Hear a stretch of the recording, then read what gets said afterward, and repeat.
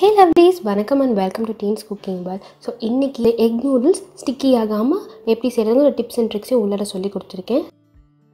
அதுக்கு ஃபர்ஸ்ட் ஒரு கடாயை சூடு பண்ணிவிட்டு மூணு டீஸ்பூன் எண்ணெய் சேர்த்துக்கோங்க. எண்ணெய் சேர்த்துட்டு எண்ணெய் சூடானதும் தேவையான வெஜிடபிள்ஸ் உள்ளார சேர்த்துருங்க. வெஜிடபிள்ஸ் சேர்த்துட்டு அண்ட் வெஜிடபிள்ஸ் வேகிறதுக்கு தேவையான உப்பு உப்பு சேர்த்துட்டு ஒரு நிமிஷம் நல்லா வதக்கி விட்டுக்கோங்க. வெஜிடபிள்ஸில் வந்து நான் கேரட் பீன்ஸ் அப்புறம் வந்து கேப்சிகம் எடுத்திருக்கேன். நீங்கள் பட்டாணி கூட நீங்கள் உள்ளார சேர்த்துக்கோங்க.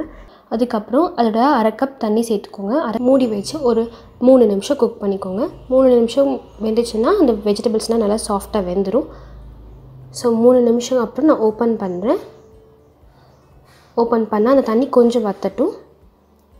ஓகே தண்ணி வற்றினதும் இப்போ நம்ம ரெண்டு முட்டையை உடைச்சி உள்ளர ஊற்ற போகிறோம் ஏன்னா நான் ரெண்டே ரெண்டு மேகி கேக் தான் செய்ய போகிறேன் நான்.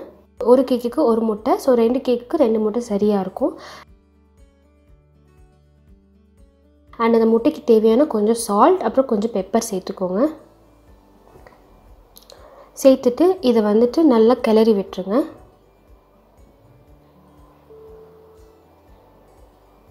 ஓகே இந்த அளவுக்கு கிளறினதும் இப்போ நம்ம மசாலா சேர்க்க ஆரம்பிச்சிடலாம்.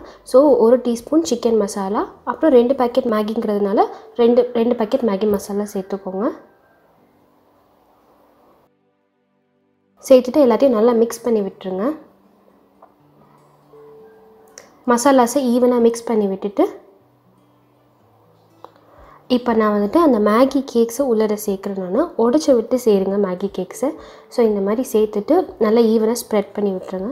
ஸ்ப்ரெட் பண்ணி விட்டுட்டு ஸோ இது வந்து இந்த மேகி மூங்குற அளவுக்கு தண்ணி ஊற்றணும் கொஞ்சம் தண்ணி சேர்த்துக்கோங்க. ஸோ இது வந்துட்டு முங்குற அளவுக்கு தண்ணி சேர்த்தா போதும். இந்த கேக் எல்லாமே நல்லா உடச்சி விட்ருங்க ஸோ பார்த்திங்கன்னா இது வந்து முங்குற அளவுக்கு தண்ணி இருக்குது ஸோ இந்த அளவுக்கு தண்ணி இருந்தால் தான் உங்களுக்கு வந்து ஒட்டாமல் வரும். இதை விட கொஞ்சம் அதிகமாக போச்சுன்னா உங்களுக்கு வந்து கொஞ்சம் ஸ்டிக்கி ஆகிடும் ஸோ இதை மூடி வச்சு தண்ணி உரியிற வரைக்கும் குக் பண்ணிக்கோங்க.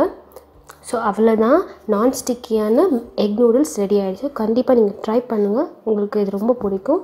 அண்ட் நீங்கள் எக்ஸ்பெக்ட் பண்ணுற அளவுக்கு நான் ஸ்டிக்கியாக இருக்கும். அவ்வளோதான் சூடாமல் எக் நூடுல்ஸ் ரெடி ஆகிடுச்சு ஸ்வீட் டொமேட்டோ கெச்சப் இல்லை ஹாட் டொமேட்டோ கெச்சப் எதனாலும் வச்சு நீங்கள் சர்வ் பண்ணிக்கோங்க.